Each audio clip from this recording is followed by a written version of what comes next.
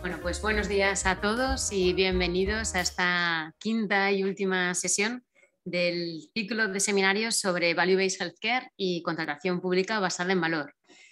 Eh, Diego quinto y último, para por si acaso alguien no se acuerda, empezamos ya en el mes de marzo de este año y hemos ido tratando mensualmente distintos aspectos. Primero una introducción sobre qué es esto del Value Based Healthcare, el pago por resultados, ¿no? esta forma distinta de adquirir salud, que es lo que se busca. Eh, un seminario específico directamente sobre Value Based Healthcare y contratación dos seminarios sobre ejemplos reales, porque yo creo que muchas veces eso anima el ver qué se está haciendo, que no estamos hablando de algo utópico o de una ilusión, sino de, realidades, tanto en Europa como en España. Y hoy estamos en esta quinta y última sesión donde vamos a tratar un tema esencial que nos preocupa a todos los que estamos en el mundo de la contratación pública y en el mundo del ámbito sanitario, que es el seguimiento, la ejecución y la evaluación del Value Based Healthcare. Y para ello, bueno, yo estoy muy contenta porque contamos con cuatro ponentes de muchísimo prestigio, de máximo nivel. Eh, tres tenemos la suerte de que estén aquí presenciales con nosotros y el cuarto de ellos, que ahora mismo lo presentaré, no puede estar, eh, está en el extranjero, específicamente en Líbano, con lo cual le agradecemos también muchísimo el esfuerzo que ha hecho para poderse conectar y estar con nosotros. Como les decía, el primero de estos ponentes va a ser, bueno, voy a presentarles a todos para luego cederles la palabra directamente y no robarles tiempo. El primero de estos ponentes va a ser Álvaro García Molinero, que insisto en el agradecimiento especial por estar allí. Muchísimas gracias. Sabemos que a veces los problemas de conexión, pues eh, en distintos países es, es complicado. Y él es interventor auditor del Ministerio de Defensa, es máster en Dirección Pública y Auditoría Pública diplomado en Derecho Presupuestario y Gasto Público por la Intervención General de la Defensa y además también, ¿no? Eh, iba a decir, en su tiempo libre, ¿no? compatibiliza todo esto con una actividad de publicación, es autor y colaborador de distintas publicaciones. Además, es el autor de un blog, reflexiones de un interventor.com, con lo cual pues, también esa labor de difusión y es colaborador de Cosital para cursos de formación de función interventora y auditoría pública. Con lo cual, bueno, ya veis que un perfil eh, muy interesante para esta sesión de ejecución, de evaluación, un interventor con nosotros. Después de él intervendrán eh, María José Vicente Edo y Celia Muñoz. María José es técnica del área de decisiones basadas en la evidencia de aquí, del Instituto Aragones de Ciencias de la Salud. A mí me gusta también mucho cuando jugamos con jugadores de casa, ¿no? porque pienso, digo, esto es positivo, vamos a difundir también valor desde, desde Aragón.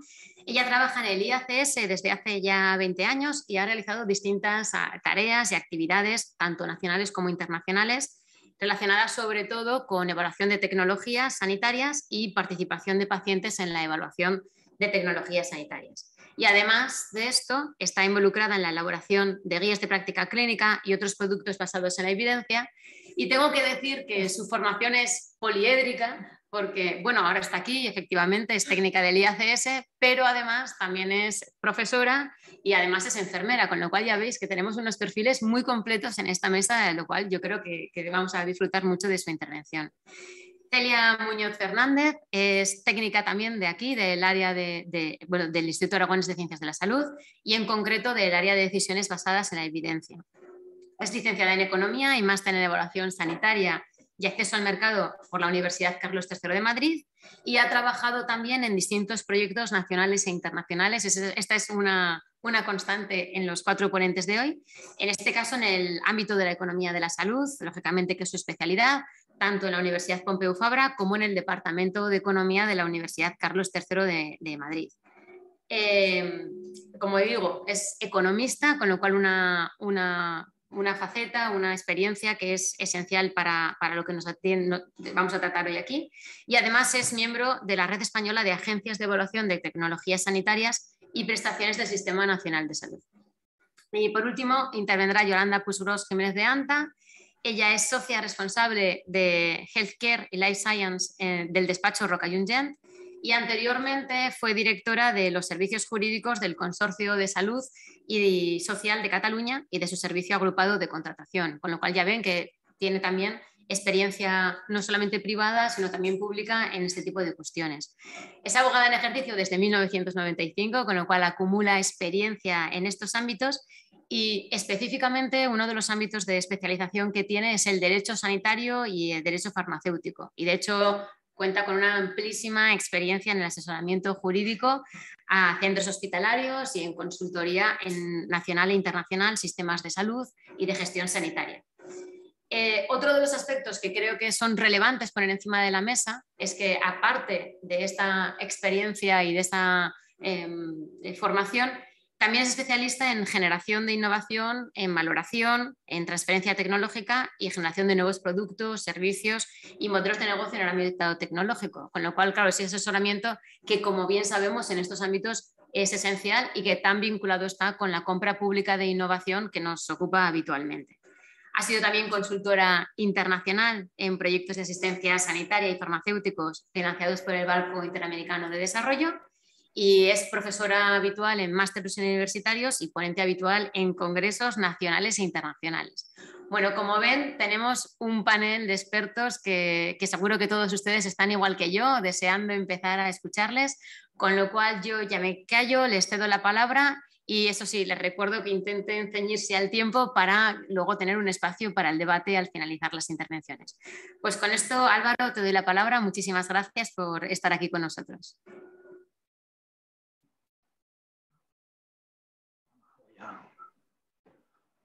Compartir la pantalla, a ver si me va bien.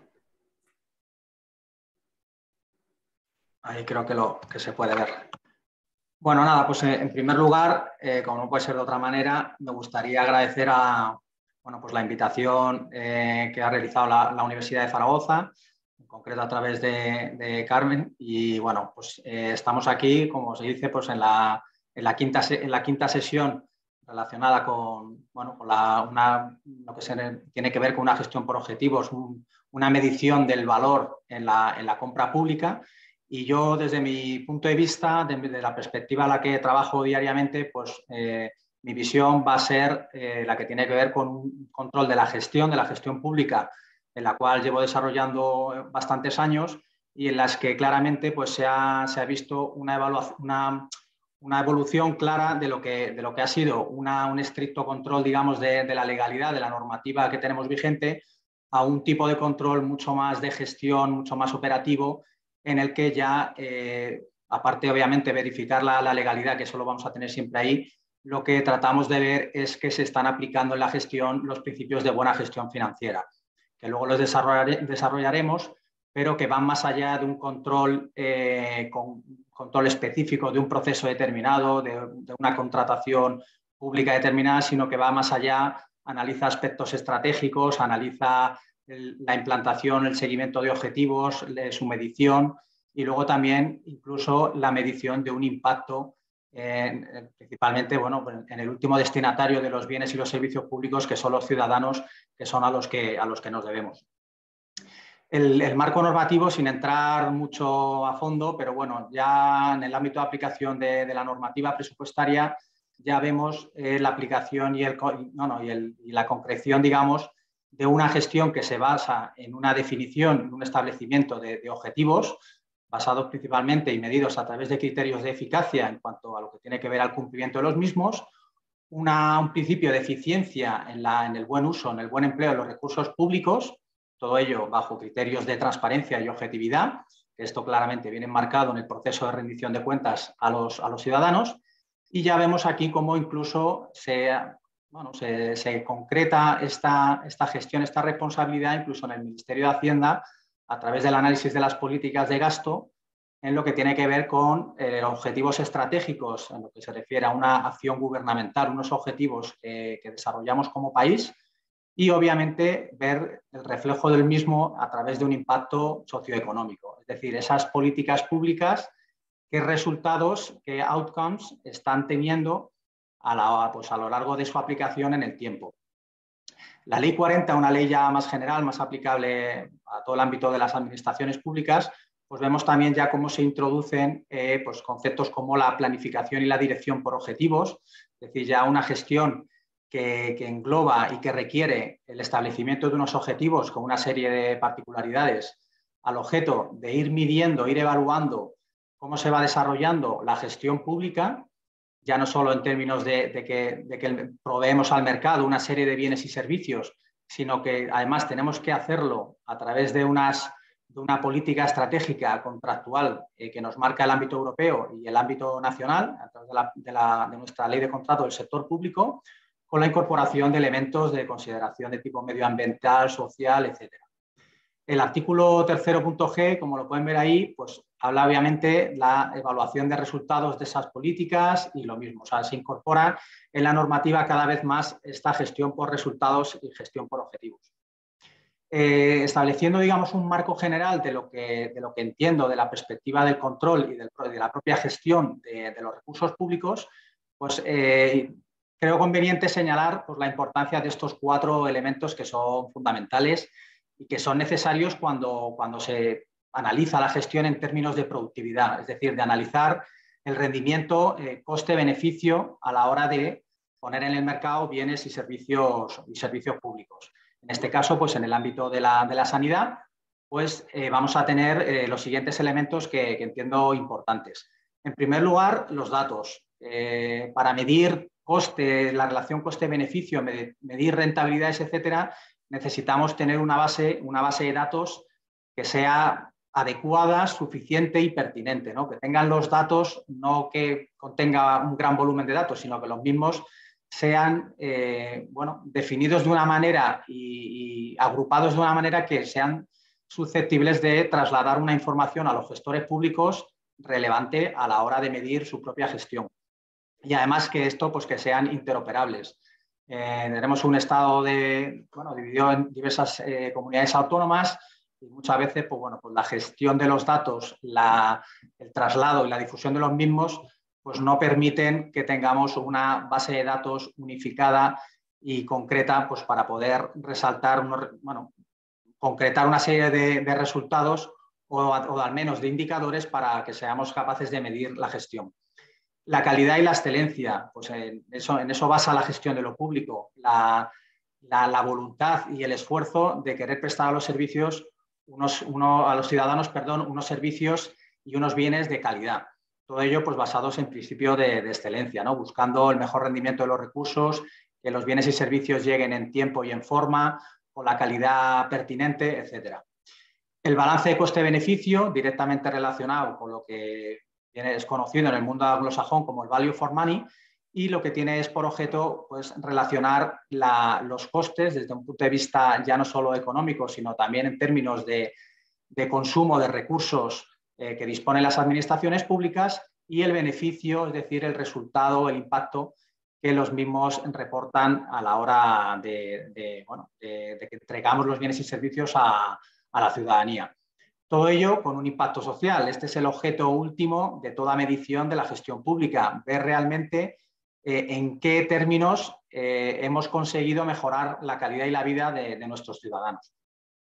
Pues bien, en este, en este ámbito, eh, por lo general, pues, de lo que carecemos o los grandes problemas que, he recalcado aquí es pues, bueno, la, importancia de tener la, importancia de los datos, ¿no? cada vez más, más en boga y bueno, que son como el elemento fundamental que tenemos que tener a disposición de las administraciones públicas para comprender, pues bueno, en qué términos somos, estamos cumpliendo nuestros objetivos, eh, ya sean estratégicos a, corto, a medio, a largo plazo, y también la eficiencia en el empleo de, los recursos, de los recursos que son, que no lo olvidemos, eh, son de todos los ciudadanos y a ellos nos debemos. el segundo elemento que veo como uno de los grandes problemas es las deficiencias que, que, bueno, que tenemos a la hora de definir las, políticas estratégicas en el ámbito de, las administraciones públicas. ¿Cómo definimos los objetivos? Eh, ¿Qué establecimiento de indicadores o de medidores de gestión eh, tenemos que desarrollar para ser capaces de en un momento determinado obtener la información relevante para ver cómo estamos llevando a cabo la, la gestión pública?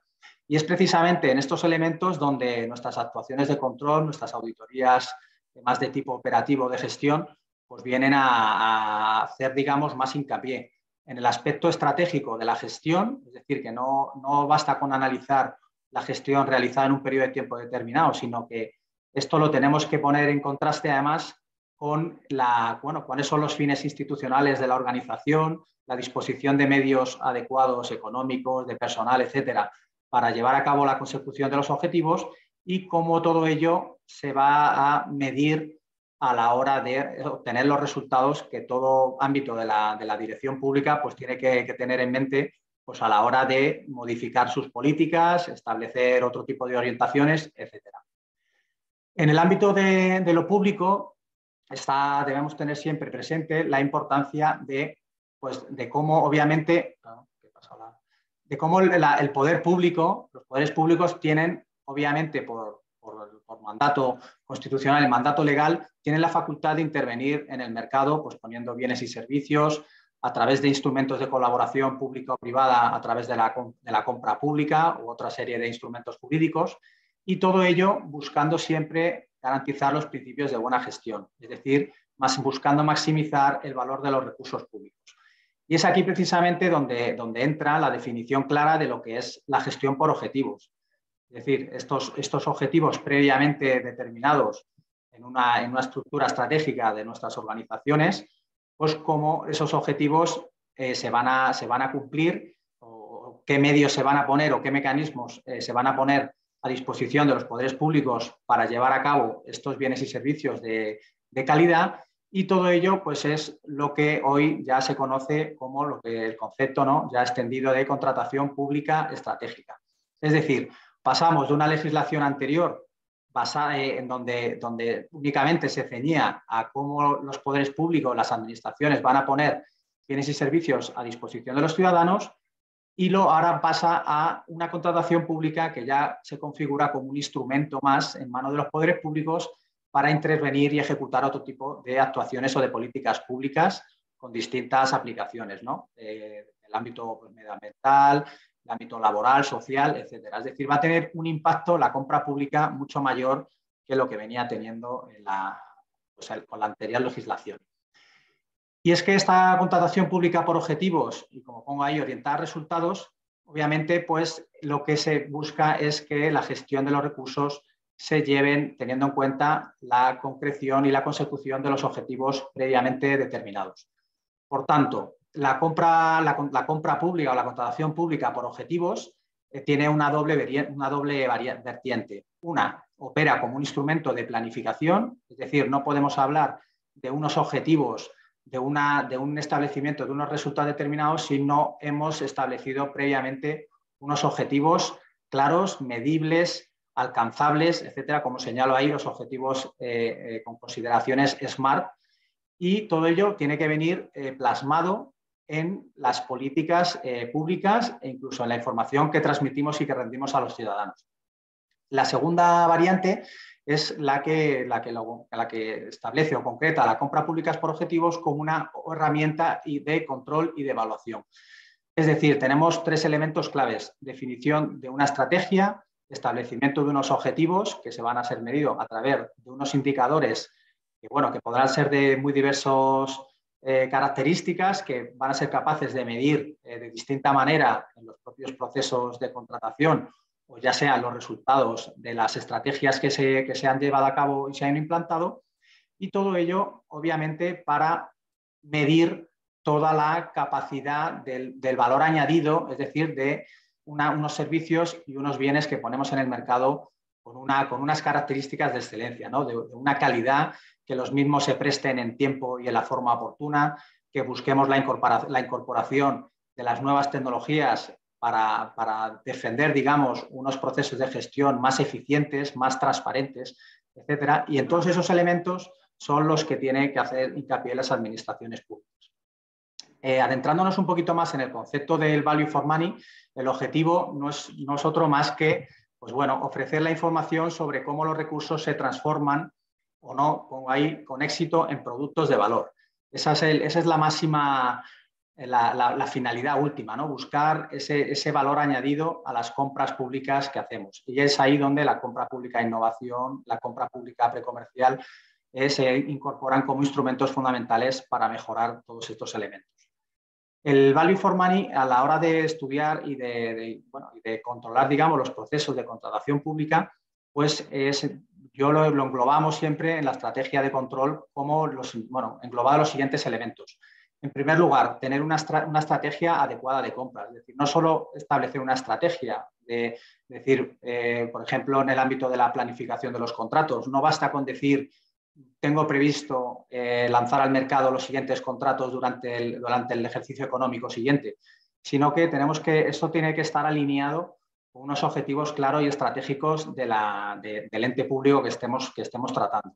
Es decir, cuáles son sus fines institucionales, cuál es el interés público que está detrás a la hora de, lanzar esa contratación pública, el, análisis de costes a través de, las herramientas analíticas, de ver, eh, bueno, incluso de otros procedimientos como puede ser el benchmarking, es decir, comparación con otras administraciones, incluso otros países, para ser capaces de obtener información de cómo llevar a cabo la estrategia con el objeto de medir y aumentar la rentabilidad en, los bienes y servicios que ofrecemos. Otro de los elementos que ya lo he señalado anteriormente, el uso de medios electrónicos.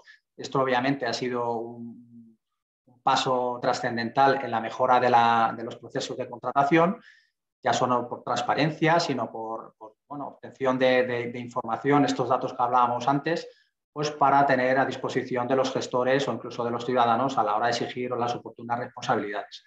La gestión de riesgos. El marco de control interno cada vez es más exigible a los gestores públicos, es decir, que sean ellos mismos como los principales actores y responsables de los recursos públicos que establezcan sus propias herramientas, sus propios mecanismos de, autocontrol a la hora de, bueno, de llevar a cabo su, gestión de, los contratos. Esto con los fondos Next Generation lo vemos claramente, como ahora el Seneca pues, bueno, establece matrices de, gestión de riesgos para los gestores, definiendo a través de sistemas de alertas pues, bueno, posibles riesgos que pueden existir en los procesos de compra pública relativos a la corrupción, al fraude, etcétera, pero también pueden ser extrapolables a otros aspectos de, de la gestión, como puede ser, por ejemplo, la medición de la eficiencia en el uso de los recursos públicos. La información financiera y de gestión fiable sobre las adquisiciones, un poco andando más en el sistema de gestión de, los datos y, de la información presupuestaria para obviamente poder llevar a cabo una estrategia, tenemos que contar con los, con los recursos necesarios para poder llevarla a cabo y todo ello tiene que estar obviamente interconectado y a través de los distintos, las eh, distintas secciones que, interoperan en la contratación pública, pues tiene que haber esta, esta conexión mutua, estas actuaciones coordinadas para, en definitiva, aportar eh, valor a los procesos de compra pública. Y todo ello, como no puede ser de otra manera, cuando hablamos de estrategia y de objetivos, tiene que estar con un adecuado sistema de medición y de, evaluación y de autoseguimiento. Por tanto, cuando hablamos de medición de los, eh, cómo medimos nuestros objetivos, nuestros logros, nuestros eh, outcomes que, pretendemos a través de nuestros procedimientos de contratación, pues bueno, en términos de coste eh, están más relacionados con los principios de economía y de eficiencia y en lo que sí tiene que ver con la consecución de resultados, la eficacia, es decir, en el, en el grado de consecución de los objetivos comparando lo previsto con lo, con lo estrictamente realizado. Por tanto, eh, tenemos estos tres pilares que entiendo que son básicos, partiendo de lo más estratégico a lo más específico en el ámbito de la compra pública, unos objetivos generales, es decir, analizamos la entidad pública a qué se dedica, cuáles son sus objetivos, qué medios dispone, etcétera. Luego, sus políticas específicas de compra pública, pues depende del ministerio, del sector de administración en el que nos encontremos, pues obviamente definirá sus, sus, políticas de compra pues de, distinta, de distinta manera. Y todo ello se va a concretar en una serie de planes específicos que suelen estar más orientados al corto medio plazo y bueno, donde aquí operan obviamente pues, los planes eh, anuales de contratación, los que hay que publicar en la plataforma, los perfiles, etc. por ser un poco más, más, práctico y para ir ya un poco rematando, eh, en, los propios presupuestos generales del Estado, lo que son los conocidos como los, los libros de colores, amarillos, verdes, etcétera, pues ahí ya podemos ver cómo las administraciones públicas a la hora de, de aprobar sus presupuestos anuales establecen ya una serie de de lo que viene siendo el interés público perseguido a través de una serie de objetivos que sí que es verdad que muchas veces vienen definidos de una manera, de una manera eh, eh, ciertamente generalista, eh, que bueno, que realmente luego es complicado de medir en cuanto que son objetivos ciertamente ambiguos o que no, es decir, que no son concretos a la hora de poder extrapolar o, de extraer resultados concretos de la gestión, pero bueno, para que se hagan un poco la, idea de, cómo opera todo ello, pues bueno, aquí en materia de, medicamentos y productos sanitarios, pues ya vemos aquí cuál es pues, un primer objetivo que podemos ver, garantizar a la ciudadanía seguridad, eficacia, accesibilidad a la información de medicamentos, etcétera. Eh, obviamente buscan que los medicamentos alcancen a los sujetos a los que, cuales van dirigidos, promocionar información, etcétera. Aquí pueden ver un, pantallazo cómo se define bueno, un objetivo general de lo que viene siendo un objetivo en materia de política sanitaria. También, como pueden ver, ya no es estrictamente en el aprovisionamiento de, estos medicamentos, es decir, de estos, de estos bienes que ponemos en el mercado con una política sanitaria previamente definida, sino que, como ven aquí, ya también abogan en el análisis del impacto en la, de la provisión de estos bienes eh, desde, una medición de un impacto socioeconómico. ¿no? Pues bueno, aquí habla, eh, como pueden ver aquí, pues mejorar la satisfacción de los usuarios, aumentar la transparencia y mejorar la comunicación, bueno, pues todo ello son, son elementos que, bueno, que vienen definidos a la hora de asignar los, los créditos presupuestarios para llevar a cabo las políticas, pero que obviamente todo esto es materia de, debe ser objeto de materia de seguimiento y de control por parte de los, los órganos pues, de gestión o de control, en su caso que, que, estamos en las administraciones públicas. Aquí tienen otro, otro ejemplo en el, en el servicio sanitario de salud, pues bueno, cómo, establecen ciertos indicadores, ciertos elementos de, información que, proveen pues, a través de, sus, de, su página web. Y bueno, como pueden ver ahí, pues el, gasto porcentual de farmacia que se dedica por, ciudadano. Esto obviamente, pues bueno, puede darnos una información de, digamos, un poco generalista de, cuál es la, dedicación de recursos públicos a medicamentos a los ciudadanos, pero esto realmente, eh, medir luego un impacto, el impacto en la sociedad, el impacto en la mejora de la, sanidad, pues claramente se queda, se queda un poco corto. Para hacer un análisis me pareció interesante este, este documento de la OECD, lo que tiene que ver en la mejora de la calidad en la, gestión del sistema sanitario. Como pueden ver ahí, el, sistema es un poco parecido a, a, las materias de control que llevamos a cabo. Ya, para, ya voy a ir acabando. Eh, partemos de un primer bloque, es decir, de los inputs que, las, que, disponen las administraciones, una, capacidad de, vamos, una, fuerza de trabajo, un personal, una información, unos recursos públicos, unos medicamentos, etcétera, unos resultados, unos, unos outcomes intermedios, es decir, la cobertura, a quiénes llegamos, con qué calidad, etcétera, y unos resultados, digamos, más generales que es, eh, ya están más relacionados con el impacto social, ¿no? Es decir, en qué hemos mejorado con, la traslación de estos bienes y servicios al mercado a la sociedad, por reduciendo, por ejemplo, el porcentaje de, ciudadanos con un cáncer determinado tras la implantación de una tecnología, etcétera. Y todo ello, por tanto, tiene que estar previamente definido y medido. Y ya para acabar, pues bueno, eh, ya sobre los impactos, como pueden ver ahí, no me extiendo más, eh, hay de, diverso de diversa naturaleza, más, relacionados con factores económicos. Obviamente, pues el recurso económico y presupuestario es necesario y cada vez disponemos de menos. Y bueno, otra serie de, factores que ya no son estrictamente financieros, sino más relacionados con la calidad y la excelencia en la prestación y definición de, de, objetos, o sea, de productos y, bienes que ponemos en el mercado. Y sin más, creo que más o menos me he encajado en el tiempo. Y nada, eh, agradecer de nuevo, de nuevo la, invitación y bueno, queda a su disposición luego para, el turno de, debate. Muchas gracias.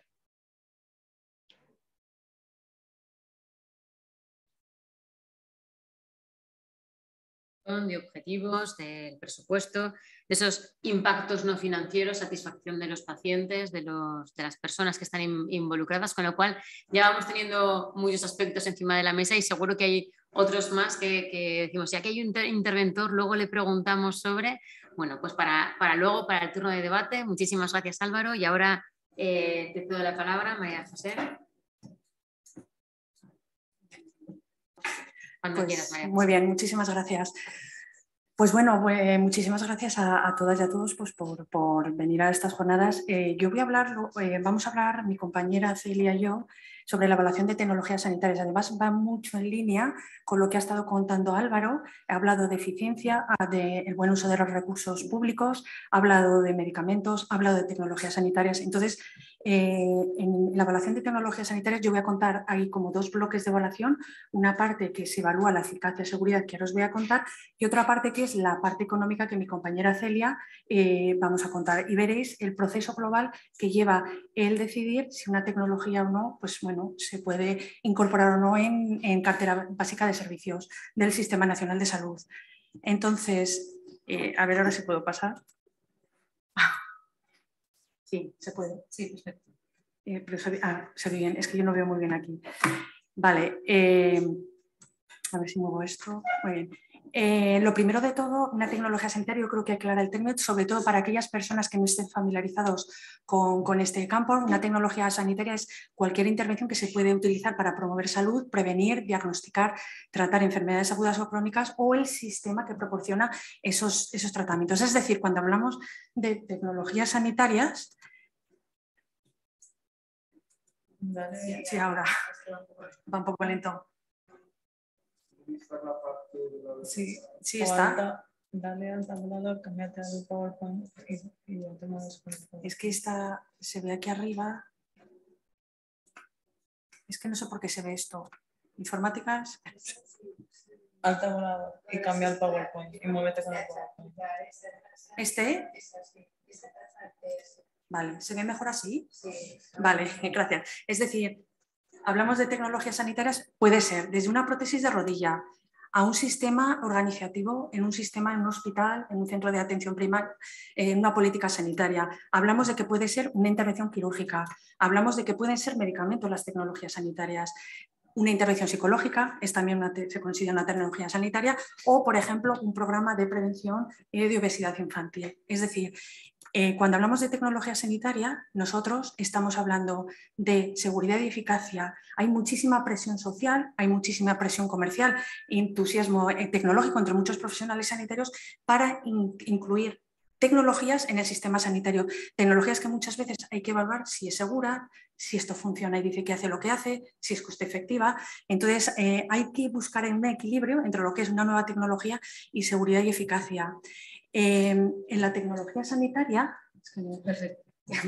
eh, una tecnología sanitaria lo que hacemos es eh, la evaluación, utilizamos estudios científicos que están mm, basados en la mejor evidencia disponible y lo que examinamos es las propiedades, el efecto, el impacto y qué repercusiones va a tener esa tecnología en el sistema, no solo en el sistema nacional, sino también en la sociedad. Entonces, habitualmente lo que se hace es un tratamiento habitual que se utiliza de referencia y el nuevo tratamiento se compara y se miden unos parámetros para ver si realmente merece la pena incluirlo o no incluirlo en la cartera de servicios. Entonces, el objetivo de la evaluación es tomar decisiones mucho más sostenibles, que además creo que lo ha comentado también Álvaro, el orientar esas tecnologías a aquellas que aporten mucho, mucho más valor y, en resumen, generar, fundamentar políticas sanitarias y seguras mucho más centradas en el paciente y en, y en la ciudadanía. Entonces, las, ¿Quién evaluamos en España? Hay una red de evaluación de tecnologías sanitarias que está compuesta por ocho agencias de, tecnologías sanitarias. No todas las comunidades tienen agencias de tecnología y eso dependerá de cada comunidad autónoma, porque uno del grueso de la financiación de las agencias viene de la propia comunidad autónoma. Entonces, es la propia comunidad autónoma la que decide si tiene o no eh, una agencia. Sí que es cierto que además de haber agencias, hay unidades de evaluaciones en hospitales, en fundaciones, en universidades pero lo que es la red española de evaluación de tecnologías sanitarias son estas ocho agencias, Cataluña, País Vasco, Galicia, en Madrid hay dos, Comunidad de Madrid del Carlos III, Andalucía, en Canarias y en Aragón, que es el Instituto Aragón, es donde trabajamos Celia y yo. Eh, la red tiene un plan estratégico que podéis consultar en la página web de la red y además, eh, uno de los objetivos de la, red es tenemos que identificar y priorizar necesitamos, necesidades en evaluación de tecnologías sanitarios. Además, lo que hacemos es, eh, esa es una de las, principales funciones. Otra es asegurar un marco, marco metodológico común eh, donde se contemplan procedimientos y herramientas consensuados que facilite una calidad y una homogeneidad a la hora de evaluar las tecnologías, es decir, creamos unas metodologías y luego las aplicamos todos para la, para la evaluación. Y coordinar, hay una coordinación en la red para elaborar informes de evaluación eh, que vienen determinados por eh, la Dirección General de Cartera Servicio, que es la que decide qué se evalúa y qué no se evalúa. hay una cosa que hay que dejar clara, evaluación no implica autorización, es decir, las agencias evaluamos, pero quien autoriza eh, por ejemplo, los medicamentos es la Agencia de, de, Medicamento Española y en los dispositivos médicos el marcado CE. Como red, la red de agencias de tecnología, no evaluamos fármacos, los fármacos los evalúa la Agencia Española de Medicamentos, el resto, procedimientos, intervenciones, programas, eso sí que lo evaluamos eh, dentro de la red. Entonces, para explicar el proceso de evaluación, eh, Celia y yo hemos elegido un ejemplo muy sencillito y donde vamos a explicar todo, es una simulación de cómo evaluaríamos un robot de dispensación farmacéutica. ¿no? Los robots, todos sabemos que se han implantado en muchos hospitales españoles, creo que en el 2017 había más de 20 hospitales, es muy costoso y además requiere cambios organizacionales importantes. Entonces, Primero, hay que gestionar los espacios y la adaptabilidad del hospital. Es decir, estamos hablando de un robot que va a dar dispensación a todo el hospital o a todo el sector, tanto pacientes internos como pacientes externos. Entonces, primero hay que planificar, va, a suponer un cambio en el espacio, va a suponer un cambio organizativo porque se reducen eh, profesionales, no quiere decir que haya que despedir, sino hay que reorganizar todas las competencias y hay que reorganizar a todos los profesionales que participan desde farmacéuticos, enfermeras, auxiliares, etcétera, etcétera. Luego también el usuario cambia también, o sea, es decir, hay el, haber reorganizado puede haber una mayor atención del paciente por el farmacéutico porque se, supone que es mucho más rápida la atención farmacéutica a la hora de la dispensación. Es muy importante los recursos también, eh, una dispensación porque se hace un inventario de stock que permite una autogestión y luego la seguridad. Se supone, se supone y tenemos que mirar a ver si es cierto que con la dispensación de robot se reducen los errores en dispensación farmacéutica y luego la parte económica que mi compañera os, comentará. Entonces, sí que es verdad que los parámetros que nosotras utilizamos, las agencias, están en el BOA, es decir, no es algo que nosotros nos hemos, hemos decidido, sino que pues, estamos hablando de seguridad, de eficacia, eficiencia, otros, otros aspectos éticos, legales que, que ahora os comentaré. Entonces, hay una de las evaluaciones que nosotros hacemos de seguridad, es decir, eh, qué medidas de evaluación de nivel de daño producido puede la aplicación. Aquí lo que podríamos mirar es si realmente el margen de error de estos medicamentos. Es decir, cuando se solicita un medicamento, ¿es el medicamento adecuado? ¿Es la dosis adecuada? ¿Está en condiciones óptimas? Porque hay medicamentos que requieren almacenaje específico, unas condiciones muy concretas. Entonces, nosotros tenemos que mirar qué margen de error, porque eso podría ser un error con consecuencias graves, ¿no? El dar un, medicamento equivocado. Entonces, es uno de los parámetros, por ejemplo, que nosotros podríamos mirar. En cuanto a la eficacia, por ejemplo, aquí es una medida de evaluación que si realmente el robot dice, hace lo que dice que tiene que hacer. Es decir, funciona o proporciona beneficio en condiciones ideales. Aquí nosotros lo que utilizamos son estudios de investigación, ¿no? Son estudios que se han hecho en un contexto ideal ¿no? Se han medido una serie de variables y, nosotros no hacemos esto, pero lo que hacemos es evaluar esos estudios de investigación que se han desarrollado en unos contextos ideales. Y luego está la efectividad, que es ver, esta es una medida, el beneficio que hay de los robots en situación real. Porque una cosa es en una investigación y una es cuando lo llegas al contexto y tienes que evaluar qué impacto tiene a nivel real. Es decir, si se ha reducido el tiempo de stock, que dice que el robot en teoría se reduce, o por ejemplo el valor anual del inventario que se tiene que hacer, si se ha mejorado o no. Es decir, vamos a ver cómo funciona realmente en un hospital esto. Y luego hay una tercera, eh, digamos, bloque que, es el impacto, eh, el impacto ético. Entonces, no solo hay que medir y hay que mirar si segura, si es eficaz, sino también impacto, es decir, ¿Cómo va a ser esto la asignación de recursos? ¿Cómo va a influenciar? Aquí podemos mirar si va a haber algún grupo de población el que tenga dificultad de poder acceder, o etcétera, etcétera. Esto hay que mirarlo. Otra de las cosas que se está empezando a evaluar, pero en la red todavía no lo tenemos muy tejido, estamos trabajando en ello, es el impacto ambiental. Es decir, los residuos, un ejemplo, qué residuos puede generar el uso de esa tecnología. ¿Por qué? Porque a largo plazo esos mismos residuos pueden tener impacto en la población, en la salud de la población. Entonces, ya hay movimientos en Europa, Healthcare Without Harm, que lo que están evaluando es si no solo haber que ver si es coste efectivo, si es seguro, sino además esto va a generar unos residuos que a largo plazo nos va a producir daños en la población. Otro de las que ya lo he comentado muy brevemente, son las consideraciones organizativas. Es decir, el meter un robot en un hospital va a cambiar no solo la estructura física del hospital o de farmacias, sino además va a cambiar todo el sistema organizativo. Entonces, eso hay que evaluar, qué, repercusiones eh, va a tener otro también de los parámetros que, evaluamos es, el, impacto social, el impacto social negativo que puede haber en la sociedad, porque a ver, los robots de dispensación farmacéutica no solo atienden población ingresada, sino también población externa. Entonces, a ver esto cómo va a modular eh, a la población en, este sentido. Luego también, últimamente, eh, y por último, otro de los aspectos que evaluamos es el aspecto legal, ¿no? es la responsabilidad y su equivalente eh, jurídico. Em, en cómo se evalúa, aquí lo que hacemos es lo siguiente. Nosotros nos planteamos una serie de preguntas que queremos conocer respecto al robot de dispensación farmacéutica.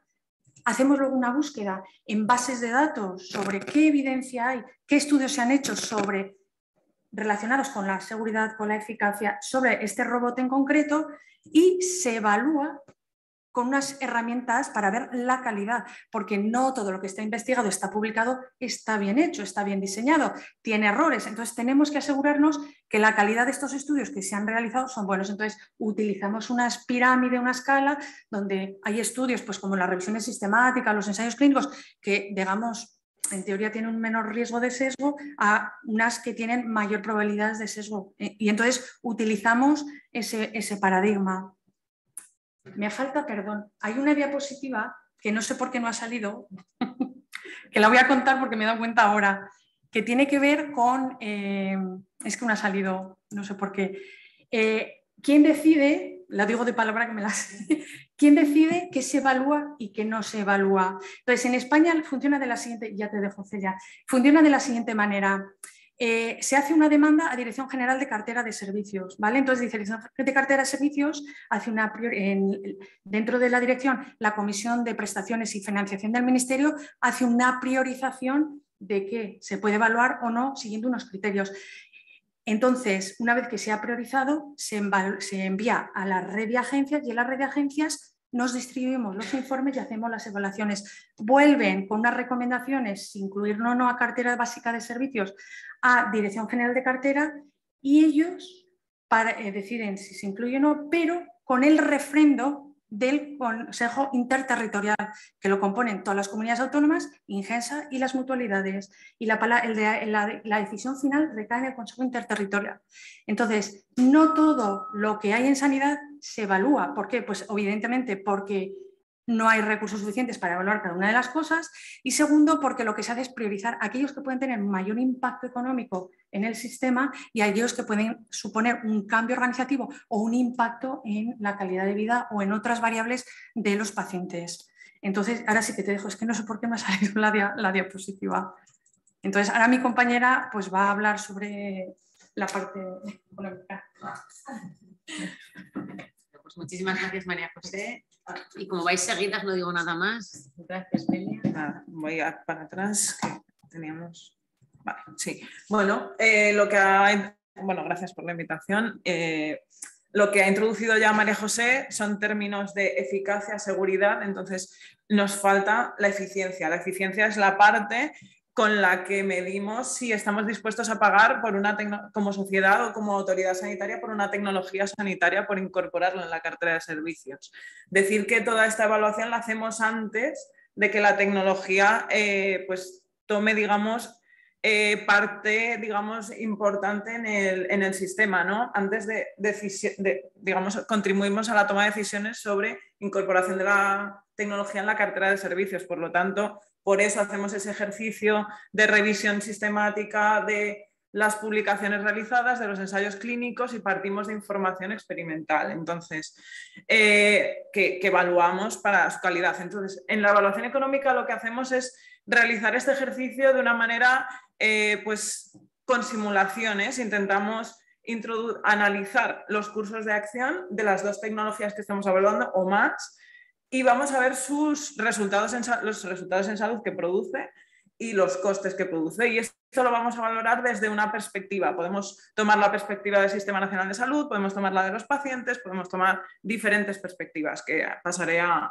explicar con la idea de poder determinar si esta eh, tecnología pues, es eh, coste efectiva o estamos dispuestos a eh, a financiarla, ¿no? es decir, si merece la pena invertir en ella.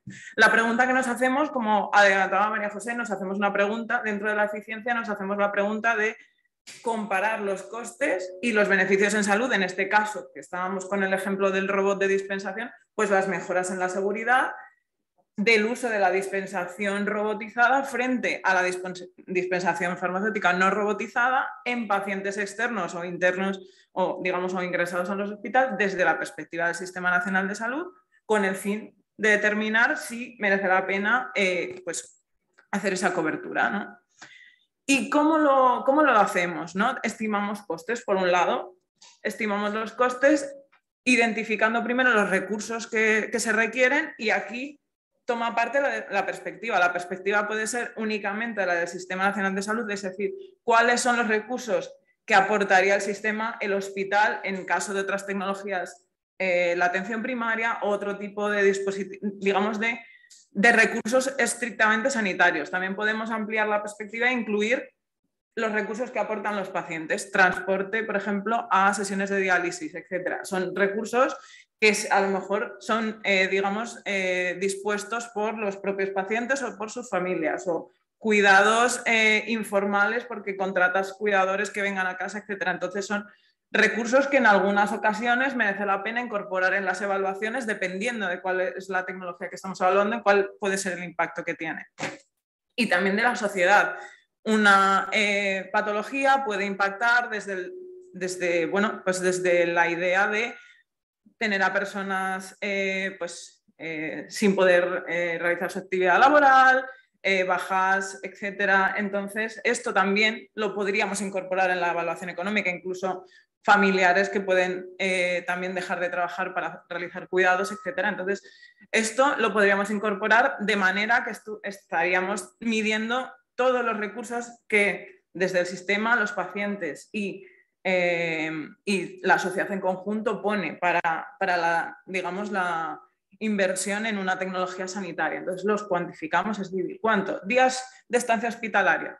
Pues cuántos necesitan, cuántos son, dos son tres, son cinco, los que, los que sean. Y aquí esta información la tomamos desde de, la investigación que se ha realizado o bien eh, con datos de en este momento no de vida real, pero con datos de pues, estudios que se han podido realizar en el sistema, etc. Y, también, y valoramos eso en unidades monetarias. No es lo mismo tener una evaluación económica que han hecho en Australia, donde la moneda es otra, la disposición de los servicios sanitarios es otro, etc. Entonces, vamos a tener que valorarlo con recursos con los que podamos eh, tomar decisiones. Y por otro lado, vamos a medir los resultados en salud que produce la tecnología. En el caso del robot estábamos hablando pues, de eh, mejoras en la seguridad. Pero bueno, podemos hablar de cualquier otra medida, pues años de vida ganados, tasas de éxito, por cualquier, eh, digamos, tasa de éxito en, eh, quirúrgica, por ejemplo, o eventos evitados. Y en economía de la salud tenemos una medida que es el, año de vida ajustado por calidad. Esta medida son los años de vida cronológicos que, que una tecnología contribuye a, digamos, a ampliar, pero también los ponderamos con la calidad de vida que tienen esos años. No es lo mismo pasar un año de vida en salud perfecta que con dolor crónico, por ejemplo. Entonces eso, si la tecnología sanitaria mejora la esperanza de vida, pero ¿cómo la mejora? Entonces esto lo, lo combinamos también y esta información también la obtenemos de estudios que se realizan eh, pues, con autorreportes de los pacientes sobre la calidad de vida. Entonces todo esto lo unificamos y tenemos lo que llamamos el ratio coste-efectividad incremental, que es decir, la diferencia entre, en costes de, una de la nueva tecnología frente a, al comparador, lo que existe ahora en el sistema, y la diferencia en efectos, en años de vida ajustados por calidad. esta, esta digamos, ecuación nos va a dar cuánta inversión necesitamos para aumentar un año de vida ajustado por calidad, es decir, por una unidad adicional de salud. No vamos a saber eh, si nos merece la pena como sistema si no tenemos un umbral en el que la propia sociedad haya, eh, digamos, explicitado o, el o la propia autoridad sanitaria haya explicitado hasta dónde estamos dispuestos a pagar. Podemos tener una tecnología que, en la que tengamos que invertir un millón de euros por conseguir una unidad de efecto. Por lo tanto, eso no sabemos todavía si, si estamos dispuestos a pagarlo o no. En la red de agencias también, eh, como ha comentado María José, también hacemos trabajo metodológico, es decir, trabajamos para proporcionarnos métodos a nosotros mismos y luego aplicarlos en las, evaluaciones que hacemos y poder mejorar la toma de decisiones. Se ha trabajado durante años en eh, obtener un umbral y el umbral que tenemos es de que como sociedad y la autoridad sanitaria está dispuesta a pagar entre 21.000 y 25.000 euros por año de vida ajustados por calidad. Por lo tanto, lo que vamos a tener es uniendo estas dos eh, dimensiones, es decir, la dimensión de diferencia de costes y la diferencia de efectos, vamos a poder tener que la nueva tecnología va a ser más efectiva y más costosa, lo cual nos situaremos en el, en, el primer cuadrante, que es lo más habitual. Cuando una tecnología está, digamos, llamando a la puerta del sistema es porque ha probado que es eh, más efectiva y probablemente sea más costosa. A veces nos sorprendemos y encontramos que porque reduce las estancias hospitalarias o por otra serie de cuestiones, encontramos que es dominante, es decir, que es más efectiva y además tiene menos costes para el sistema o para la sociedad, dependiendo de la situación. digamos, dependiendo de cuál sea la perspectiva en la que sea relevante hacer esta evaluación. Entonces, uy, ¿no pasa? Ahora, vale, entonces, para el caso del robot, por ejemplo, si digamos, trazamos el umbral, que es hasta dónde queremos pagar como sociedad, vamos a tener que si el robot nos aporta o tenemos que invertir en, el robot menos de 25.000 euros por una unidad de calidad de vida, pues vamos a recomendar su financiación. Consideraremos que esta tecnología es coste efectiva. Al contrario, no lo vamos, o sea, al contrario, si estamos hablando de que esto supera el umbral, pues consideraremos que no es coste efectiva. El umbral también eh, quiero decir que no es rígido en el sentido de que hay consideraciones, hay enfermedades eh, pues, o medicamentos huérfanos o tecnologías sanitarias que se dedican a colectivos más vulnerables y que el umbral, dependiendo de las situaciones, es flexible, pero sí que es orientativo para la hora de tomar decisiones y poder nosotros como red de agencias recomendar al sistema si merece la pena o no invertir en una tecnología sanitaria. Otro tipo de análisis, ahora nos estábamos preguntando hace un momento si una tecnología era eficiente. Ahora lo que nos preguntamos con otro tipo de análisis es em, si nos la podemos permitir. El análisis de impacto presupuestario. Este ya es un poco posterior, pero también lo hacemos en algunas ocasiones adelantándonos a que una tecnología es coste efectiva y, y, se prevé que se va a incorporar en el sistema. Entonces, en un análisis de impacto presupuestario, lo que hacemos es, viendo esa combinación de, intervenciones, es decir, cómo quedaría el sistema después de, incorporar la nueva tecnología, ver cuál es la corriente de gastos que se produce. Entonces vemos el impacto en el, digamos, en, el gasto corriente. Y estos análisis suelen hacerse pues, para un periodo de unos cinco años, digamos, es una proyección pues, de impacto presupuestario que ya es mucho más manejable a la hora de decir, vamos a dedicar presupuesto a esta tecnología. Entonces aquí vamos a ver si el sistema o cada ya, digamos, cada unidad eh, que vaya a incorporar la tecnología eh, puede permitirse la adopción de esta. Y bueno, hemos hablado de que esta información la, que, la teníamos desde estudios de, de, datos, al final lo que tenemos es incertidumbre porque no sabemos, lo que comentaba María José también, no sabemos la diferencia que hay entre los resultados experimentales en condiciones ideales y lo que pasa cuando se incorpora al sistema. Los pacientes que tenemos habitualmente no son los mismos que hay en un ensayo clínico, tienen comorbilidades, tienen diferentes, a lo mejor no, se adhieren del todo al fármaco, etc. Entonces, hay que, digamos que se proporciona la idea de que existe incertidumbre y que habría que evaluar a posteriori, después de incorporarlo en el sistema. Entonces esto ahora empieza a poder, podemos empezar a pensar en que esto es posible hacerlo de manera habitual. Eh, desde que en el plan de recuperación, transformación y resiliencia se contempló la idea de generar un, data lake, un lago de datos, un espacio de datos eh, sanitarios, en el que vamos a poder utilizar esa información y ya digo, es, bueno, es, vamos a poder utilizar datos que genera el sistema de manera habitual, no con objetivo eh, de investigación, sino datos que se recopilan cada vez que un paciente pasa por una consulta y se le dispensan fármacos, eh, etcétera. Y entonces eso nos va a, proporcionar que vamos a poder hacer procesos de evaluación más rápida, revisables, vamos a poder actualizar esas recomendaciones que hacíamos, porque a lo mejor luego, después de incorporar la tecnología en el sistema, tenemos unos resultados que no son los esperados o diferentes a los que esperábamos. Eh, vamos a poder hacer esa actualización, detectar necesidades también, con los datos nos van a decir dónde hace falta evaluar o qué cosas no, no, han sido evaluadas todavía y vamos a poder reducir esa incertidumbre asociada ahora mismo que partimos de estudios que, bueno, pues que se han hecho en, otros contextos, de forma ideal, etc. Y vamos a poder además también llegar a esquemas mucho más completos de pago por resultados porque vamos a conocer el resultado real de la tecnología una vez puesta en marcha. Entonces vamos a poder pues, desarrollar pues, esquemas innovadores ¿no? de financiación y de acceso a, las tecnologías. Entonces, al final, con todo esto, lo que tendríamos es una toma de decisiones, ¿no? una recomendación de toma de decisiones y después de la pregunta de los análisis, tanto de efectividad, seguridad, eficiencia, ético, social, etcétera, lo que vamos a tener son recomendaciones para que cartera de servicio pueda eh, determinar si al final incorpora o no eh, la tecnología. Y entonces eso es el proceso todo. Muchas gracias. Bueno, muchísimas gracias, Celia, y muchas gracias, María José, por vuestra intervención. Eh, yo creo que ha sido de gran utilidad para conocer el proceso de evaluación, quién interviene, cómo se articula, muchas cuestiones que nos surgen. Otra vez vuelve a salir eh, la importancia de los datos, que seguro que sobre esto podemos volver luego. Y ahora ya le cedo la palabra a Yolanda para su intervención. Muchísimas gracias.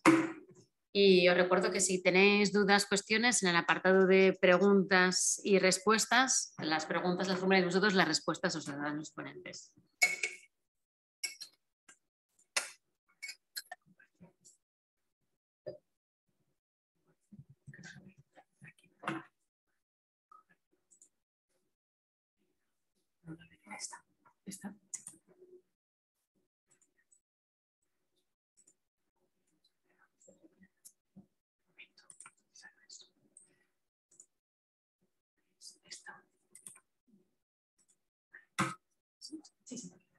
Hola, buenos días. Eh, muchísimas gracias a la organización por, invitarme. Eh, gracias Informática por ayudarme ahora a colocar la presentación. Eh, yo me voy a colocar en, un plano diferente a la, presentación anterior. ahí están estado hablando del, plano de la evaluación en financiación. Yo quiero explicaros el value base desde el punto de vista de la ejecución de la contratación. Es decir, cuando hemos tenido un contrato ya lo estamos ejecutando, ¿cómo vamos a, mm, medir, a valorar ese, el cumplimiento, el grado de cumplimiento de ese, de ese contrato? Sí, sigo, claro.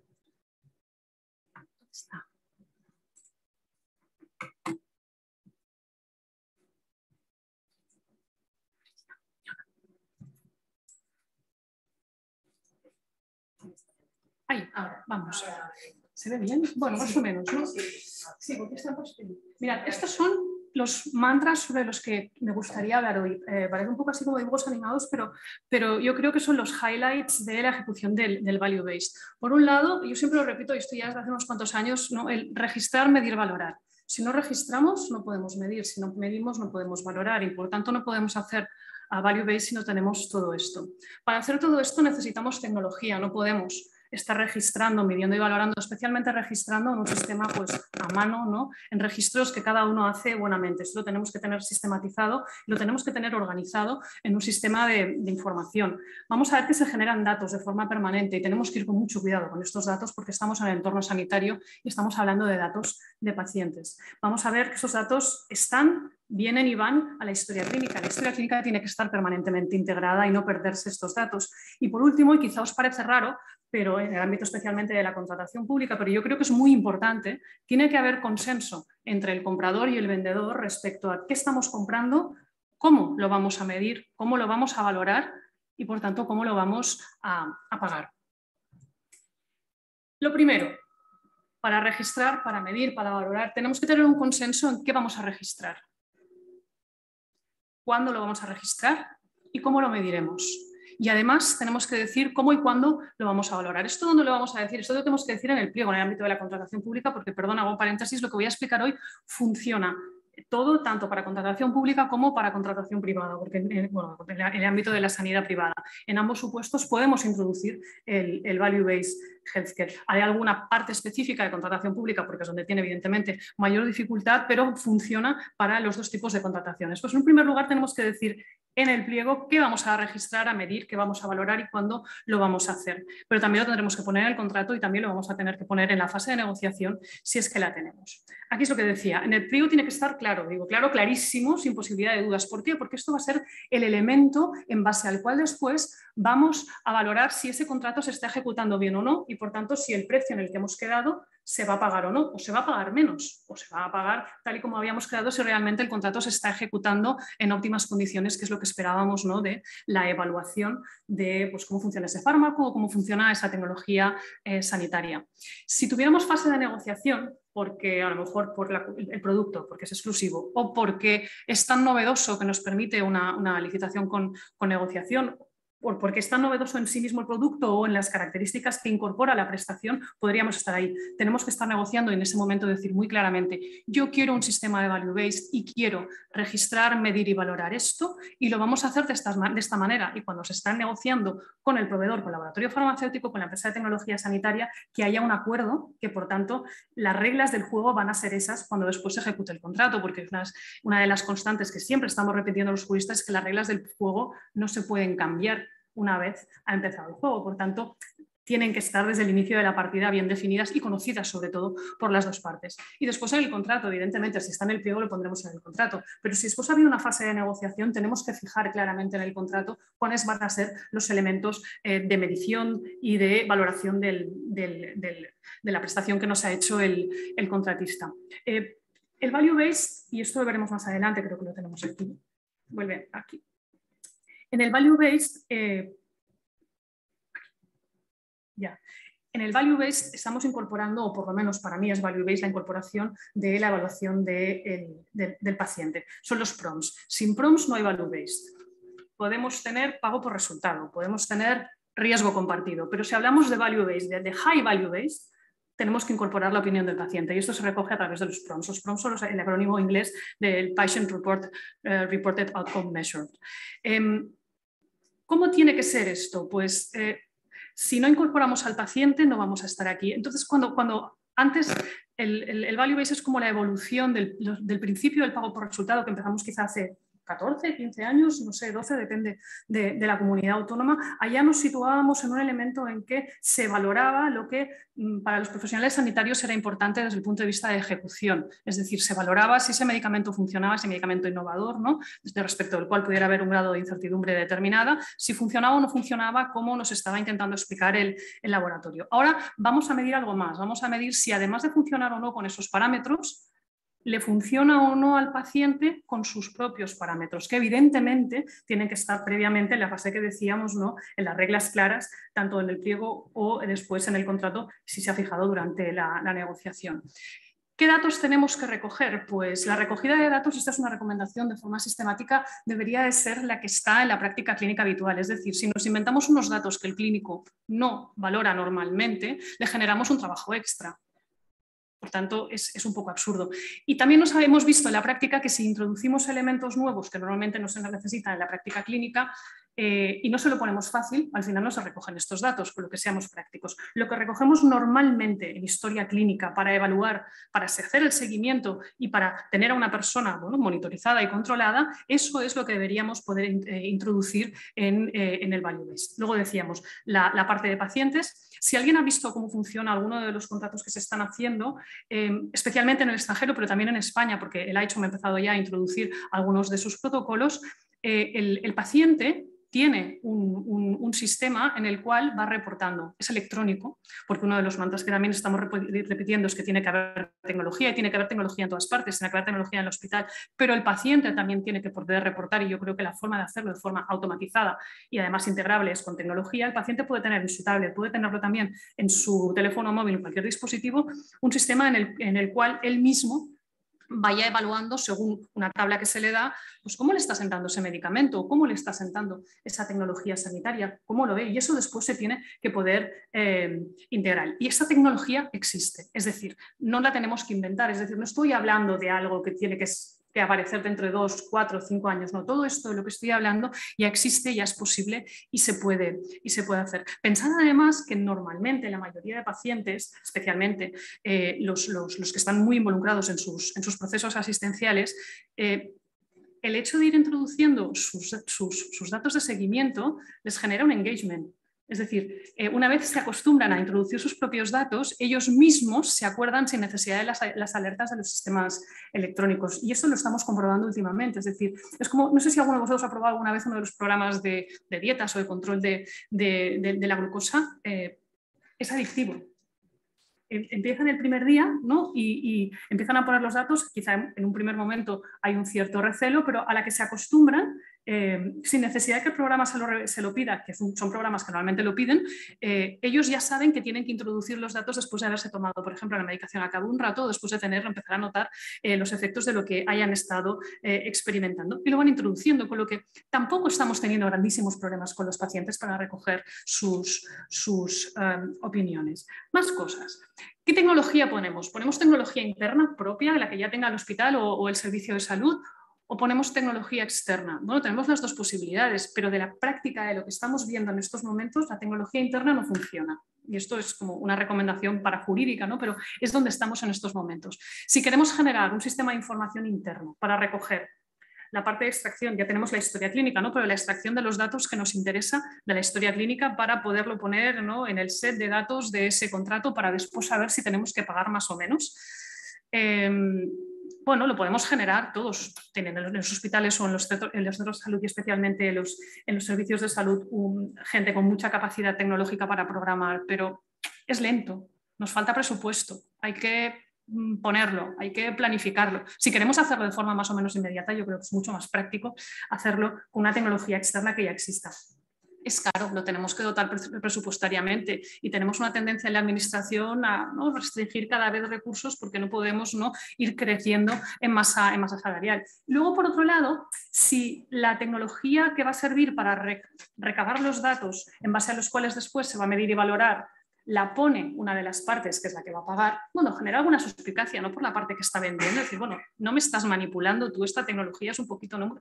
yo que ponía el Juan Pano, yo me lo guiso, yo me lo como, ¿no? Yo digo qué es lo que voy a medir y extraigo yo los datos de, de, donde sale y entonces tú te vas a tener que hacer un ejercicio de, fe, ¿no? Entiendo que yo te digo es cierto, porque recordamos, esto me estoy haciendo spoiler, lo, lo, veremos después, recordamos que ni los laboratorios ni las empresas de tecnología sanitaria pueden acceder a la historia clínica ni a los datos personales de salud de los pacientes, con lo que si además la tecnología la controla la propia administración, pues bueno, es mucho peso ¿no? en la administración, en la, ejecución de ese contrato. Si en cambio, si la tecnología es externa, es decir, en base a qué, cómo eh, sacamos esos datos que después nos servirán para evaluar la ejecución del contrato. Si esto nos lo provee una empresa externa, uno, es mucho más rápido, ya existe. Por ejemplo, hay extractores de datos, me sabe mal ir haciendo propaganda de empresas, seguro que existen más, pero os puedo explicar las que yo conozco y con las que he trabajado y porque sé que están funcionando. Sabana tiene un extractor de datos fantástico, IOMED, que es una startup que ha empezado hace unos años, también está extrayendo datos, es decir, existe la tecnología capaz de introducir un algoritmo dentro de la historia clínica, sacar datos concretos de cómo está funcionando ese paciente sin sacar sus datos personales, es decir, por ejemplo, datos de crecimiento tumoral. Esto es posible, sin decir que se, se llama José Pérez García. No nos interesa su nombre, sino que al laboratorio, para saber si será pagado más o menos, lo que le interesa saber es esa persona, sin saber su, su nombre y quién es, ha tenido o crecimiento tumoral gracias al tratamiento. Dos, y esto es un tip también para la administración, si contratamos tecnología externa le podemos decir al proveedor que la pague. Oye, tú me ofreces un riesgo compartido oye, con un value base introducido porque vamos a mirar a los pacientes, págalo tú porque yo no tengo forma de hacerlo. Si tengo que hacerlo, voy a tardar mucho en programarlo o en dotarme presupuestariamente. Bueno, dentro de la propia prestación, lo puede pagar o si lo tenemos que licitar en función del importe de esa tecnología, pues podemos poner un lote específico. Si ponemos un lote específico, ojo, porque lo tendremos que pagar como administración. Hay que decidirlo, lo paga el proveedor, lo pagamos nosotros, bueno, lo paga, la administración, pero alguien tiene que poder pagar esto. Yo, los, los, los que estoy viendo, los está pagando el proveedor. Es decir, el proveedor está contratando pues, estos extractores de datos y luego la parte de prompts, hay alguna empresa que también, no sé, los de Promptly, por ejemplo, ¿no? que recoge los prompts y también los está pagando el laboratorio. El hecho de que lo pague el laboratorio no quiere decir que acceda a los datos. Repito, no puede acceder a los datos personales de los pacientes. Ni siquiera puede acceder directamente a los datos que extraen estos prestadores de tecnología, porque lo que es datos que ellos extraen se reportan al hospital y entonces es después el hospital o el, sistema, o el eh, servicio de salud el que se lo reporta al, al, laboratorio farmacéutico, a la empresa de tecnología sanitaria. De manera que, bueno, lo paga, pero eso no le da el control sobre la ejecución de esa prestación por parte del proveedor de tecnología sanitaria. Y en todo caso, eh, en comparación con el sistema que decíamos de, tecnología interna, es independiente. Es decir, si en algún momento hay una duda respecto a cómo se están eh, recolectando los datos, el, laboratorio proveedor de, tecnología sanitaria podría acudir a pedir una auditoría de cómo ha funcionado el sistema de extracción de datos o de colección de prompts para saber ¿no? si realmente está, está funcionando o en todo caso al ser un tercero independiente que además está pagado por el laboratorio difícilmente se ve, es, difícil prever que pueda haber algún tipo de interrupción ¿no? por parte del pagador. Probablemente sea algún error sea en el momento de, interoperar las, las dos tecnologías. Más cosas si ponemos tecnología externa, bueno, interna también, pero ya doy por supuesto que esto se cumple, ¿no? Pero si ponemos tecnología externa, es imprescindible que sea interoperable con la historia clínica. Tanto el extractor de datos como el integrador de, los prompts. El extractor de datos tiene que poder entrar. En estos momentos la tecnología lo que hace es meter un, algoritmo que, ¿no? Lo que decía, extrae esos datos y los da para valorar la ejecución del contrato. Pero también el de los prompts. Los prompts están fuera, ¿no? Están, se están recogiendo en la tablet o en el, teléfono del, usuario. Eh, esos datos que reporta el usuario se tienen que integrar en la historia clínica. ¿Por qué? Porque tenemos un principio de integración de la historia clínica. Eso está en la legislación sanitaria con carácter básico, la Ley 41-2002, que regula la autonomía del paciente y la documentación sanitaria, y es aplicable a toda España. Por tanto, cualquier dato de salud se tiene que integrar en la historia clínica. Más cosas. ¿Quién accede a la historia clínica? Hemos dicho antes, el proveedor no puede acceder a los datos personales de la historia clínica, bueno, a ningún dato de la historia clínica. Lo único que accederá serán a datos sintéticos obtenidos en base a la extracción de los datos de la historia clínica por parte de la empresa de tecnología ah, de, extracción, precisamente, y a, la integración de los prompts, que después saldráis, y por tanto tendrá acceso a un dato absolutamente eh, sintético.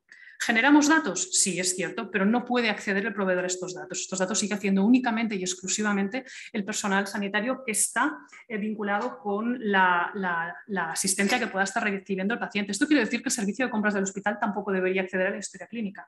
Esto quiere decir porque los únicos datos que necesita el servicio de compras del hospital son los datos de ejecución de ese contrato. Probablemente únicamente deba acceder casi en el mismo formato que accederá al laboratorio. ¿Por qué? Porque a la gente de compras eh, ni le interesa ni tiene capacidad de saber qué es lo que está pasando en la historia clínica. Eso solamente tiene que acceder el equipo de profesionales sanitarios que está involucrado en la atención de esa persona. Y esto a veces no está tan claro, pero en todo caso, eh, en nuestro país las historias clínicas tienen trazabilidad respecto del acceso. Y ahí es donde vamos a ver si está haciendo un buen uso o no. Atención, porque si alguien hace un, mal uso y un mal acceso a la historia clínica, eh, puede tener una sanción disciplinaria importantísima Por tanto, el protocolo de acceso para este tipo de casos debería estar muy claro dentro del hospital. Y después hay una cosa que a mí me parece importantísima, que es la ciberseguridad. Y la, ciberseguridad tiene que estar coordinada entre todos los operadores de este sistema de, value-based healthcare. ¿Por qué? Porque la, ciberseguridad, y no solamente afecta a datos y fuga de datos, la ciberseguridad afecta al funcionamiento de los sistemas de información de un centro sanitario y de todo un sistema de salud. Por tanto, si tenemos un, ataque de ciberseguridad, eh, es casi anecdótico que haya una fuga de datos de salud porque para saber si me han quitado una peca o no. Lo que es importante es que a lo mejor me paralizan en el hospital, me paralizan en la UCI, me, paralizan probablemente los quirófanos porque no podremos operar, porque no tenemos acceso a datos y porque los profesionales sanitarios no pueden estar tomando decisiones porque no tienen acceso a los datos. En estos momentos tenemos todos los datos informatizados, con lo que un ciberataque nos paraliza la actividad de asistencia sanitaria y gran parte de nuestro personal no está acostumbrado a trabajar sin esa información en ese soporte porque por suerte hemos evolucionado a una informatización casi total de, la recogida de datos. Por tanto, cualquiera de los proveedores que participa en la integración de datos a la historia clínica tiene que estar en una cadena de protección de la ciberseguridad y tienen que acreditar su grado de inversión en ciberseguridad y de seguridad precisamente de las prestaciones que están haciendo.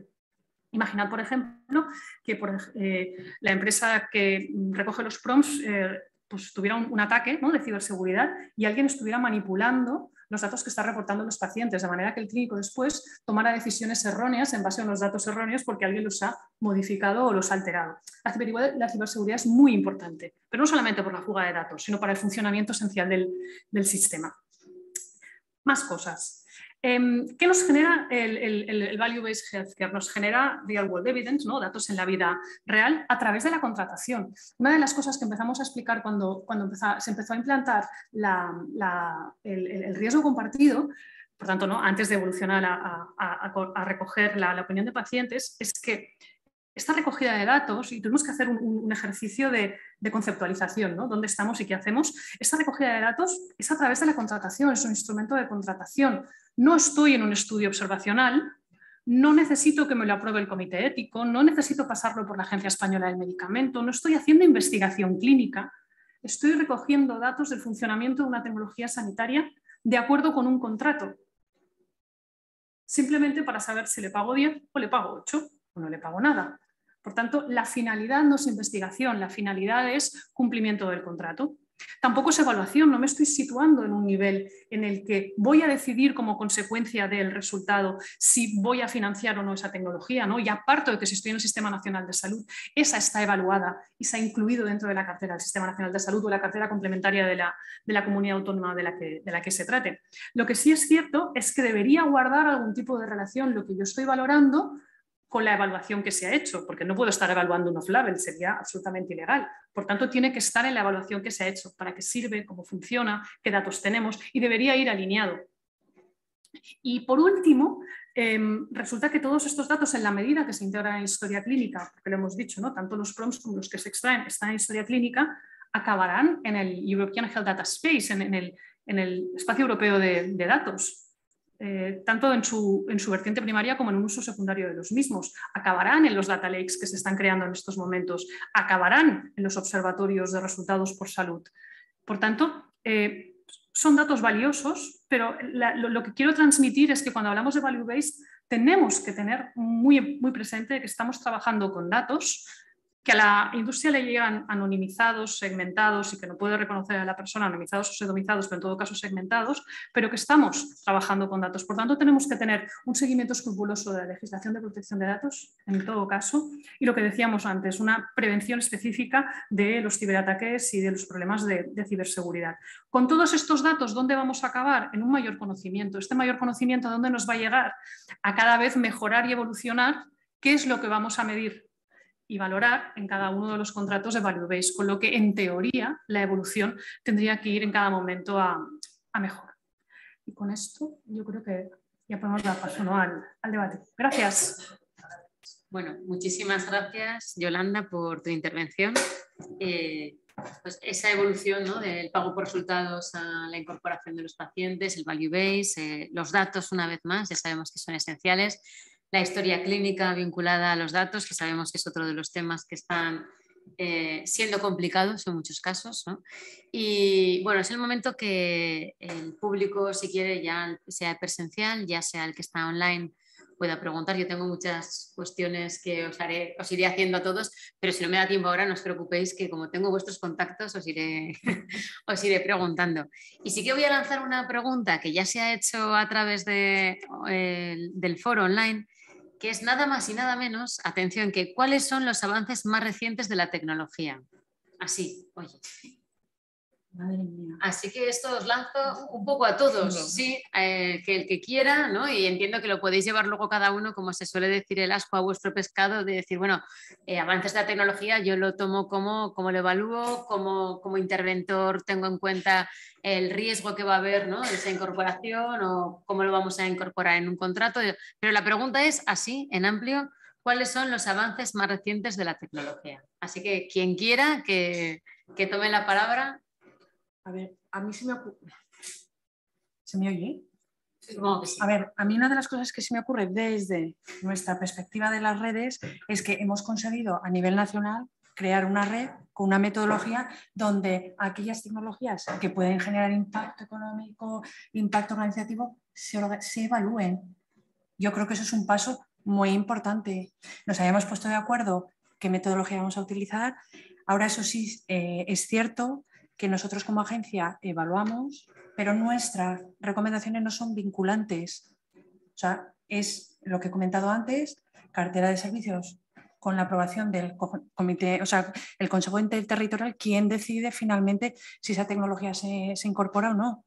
Entonces, yo creo que cuando hablamos de avances de la tecnología, yo creo que uno de los grandes puntos, repito, desde nuestra o desde mi perspectiva como agencia, es el que en España haya una, se esté eh, mejorando la eh, cultura de evaluación, porque creo que en eso todavía pues eh, hay muchas dificultades porque se ve la cultura de la evaluación como una cultura de control, de me están diciendo que no hago bien las cosas o en vez de decir un área de mejora, esto sí que funciona, esto no funciona, vamos a usarlo o no vamos a usarlo. Entonces yo creo que poco a poco, a través, y repito, desde mi perspectiva de la red, creo que que para mí eso es un avance en la tecnología. Bueno, yo voy a nombrar otro, otro avance que he visto en los últimos años y es, bueno, mm, las tecnologías sanitarias basadas en la inteligencia artificial. Creo que ahora es muy relevante porque esas propias tecnologías generan datos de su uso y vamos a poder, nos van a dar otras herramientas para evaluar para, tanto a la hora de evaluar en el post-adopción y evaluar los, digamos, los resultados de, la tecnología. También en el pre-adopción, el enfrentarnos como evaluadores a tecnologías que no sabemos lo que hacen por dentro del, todo y que generan datos propiamente y que toman información de los... O sea, digamos, todo esto creo que es un reto, creo que es un avance también el hecho de que la propia tecnología genere información de forma masiva en, muchos casos, pues también eh, va a, digamos, impactar. Y creo que es, es, un avance tecnológico, pero bueno, tiene, tiene sus cuestiones, sus retos, yo creo, como, como todos los avances. Entonces, bueno, yo diría este, pero porque mm, tiene aristas para todos los, digamos, operadores del ámbito. Entonces, bueno, me parece interesante mencionarlo. voy a salir de madre, porque yo creo que hay una tecnología que vamos a tener en sanidad, bueno, vamos a tener todos en, todo el mundo, por lo menos en el primer mundo, eh, que en estos momentos tampoco la veo, no sé, tengo que pensar cómo verla en Value Based, pero eh, la veo en sanidad y la veo clarísima y os vais a reír de mí, pero es el metaverso. Yo creo que el metaverso es un super sistema para training de profesionales, para entreno de profesionales y para terapias que requieran poner a las personas en situación y en entrenamiento. ¿Qué quiero decir? Para terapias eh, cognitivas, para terapias psiquiátricas y psicológicas y para terapias de rehabilitación. Es decir, todo lo que en estos momentos estamos viendo a través de realidad virtual y su evolución hacia realidad aumentada cuando la hay, lo vamos a ver en metaverso. En estos momentos, por ejemplo, eh, no sé si conocéis el robot quirúrgico Da Vinci, se, tú no puedes utilizarlo si no has hecho el training, ¿no? el, entrenamiento como cirujano de poder utilizarlo. Y esto pues, se contrata pues, el cirujano mayor del reino que sabe utilizarlo mejor, que forma al resto de los cirujanos. Esto se va a poder hacer en el futuro a través de metaverso. La utilización de cualquier tecnología, por ejemplo, una, operación de cataratas, eh, enseñar a hacerlo se va a poder hacer en el metaverso y en todo caso se va a hacer sobre algo muy soft que va a ser casi un sandbox por el que no es un paciente directo y no hay riesgo. Yo creo que para formación el metaverso funciona y luego, por otro lado, como decía, este tipo de terapias que requiere poner a la persona en un sitio. Probablemente falta tiempo. ¿Por qué? Porque ahora, de lo que sabemos y vemos del metaverso, yo no he entrado, solamente eh, he utilizado realidad aumentada y realidad virtual. Pero de lo que hemos visto por ahora parece un jueguecito, ciertamente. Cuando la programación de este jueguecito sea más realista, es decir, tengamos realmente la, la, creencia de que estamos en un entorno cuasi real para poder actuar, nos servirá en salud para todo esto que requiere training, simulación o rehabilitación y, bueno, ir conduciendo. Incluso me atrevería a decir eh, telemedicina, en el sentido de que tú puedes estar haciendo, atendiendo a un paciente, puedes estar en tu casa con el pijama. Si te pones en estos momentos la pantalla, te ve el pijama. Si te pones tu avatar, no te ve el pijama, te ve con la bata puesta y el fonendo con lo que ahí también vamos a ver un espacio de interactuación entre el avatar, evidentemente siempre controlado por el clínico y la persona que pueda estar eh, interactuando con, el profesional. No sé cuántos años faltan, ¿eh? y a lo mejor me equivoco, pero eh, yo lo veo así. Álvaro, no sé si... Sí, nada, yo aprovechando el ámbito de, de mi control, pues obviamente en el, organismo al que presto ahora mismo los servicios es un organismo, es un organismo público de investigación, con lo cual los proyectos de I+D+I, muchos relacionados con el uso militar, pero también otros del uso militar que luego se, llevan a cabo en, un uso civil, ¿no? la ciudadanía. Por ejemplo, en el ámbito de la tecnología relativa al sector aéreo, cómo en, el organismo, en el INTA, llevan a cabo estudios de medición de, bueno, de aquellas partículas que desprenden los aviones en el despegue, el tema acústico, es decir, los ruidos que, eh, bueno, la eliminación de ruidos en, en, los aviones, pues toda esta tecnología que se lleva a cabo en el Ministerio de Defensa, obviamente luego se desarrolla y se aplica también en el sector aéreo civil. Por tanto, ya de, bueno, de primera mano, pues tenemos conocimiento un poco de lo que es eh, tecnología o pruebas tecnológicas que se llevan a cabo y que, bueno, que obviamente tiene un impacto en la, en la sociedad ¿no? y en la ciudadanía. Quería poner de manifiesto también un poco la importancia que tiene eh, bueno, el tema de los fondos europeos que ha, traído los, el plan de recuperación que introduce un nuevo diseño de, de, los fondos europeos, ¿no? lo que tiene que ver a la ejecución y control de los mismos.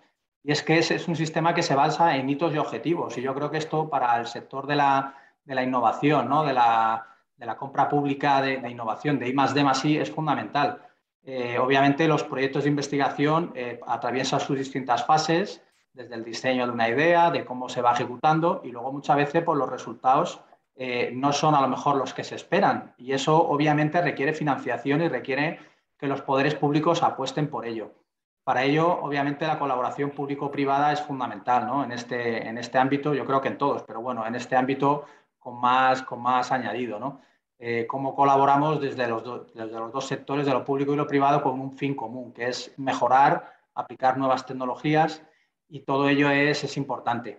Y al hilo de, lo que señalaba anteriormente, pues yo he sido, he sido testigo de la telemedicina, ¿no? Cómo estar en un barco navegando en mitad del Pacífico, pues disponer de, bueno, pues una operación quirúrgica que surge pues, por un accidente laboral y bueno, y como desde ahí, pues a través de la telemedicina perfectamente puedes, eh, puede el enfermero, puede el médico a bordo apoyarse en, otra, en otros profesionales para salir de una situación que, que es límite, ¿no? O sea, que eso en primera mano lo he vivido también, consta y, bueno, son avances obviamente que, que, podrán ser mejorados, mejorados pero que, que, sin duda están ahí y que, y que, bueno, en definitiva, pues mejoran, mejoran la vida ¿no? y, la, y la calidad de los servicios públicos muchísimas gracias. Yo creo que nos da tiempo a otra pregunta que la lanzo. Esta parece que va más directamente a por ti, Álvaro, pero desde luego todos en la mesa podéis eh, participar y es, claro, estamos hablando cuando hablamos de Value Based Healthcare específicamente o en general, pago por resultados,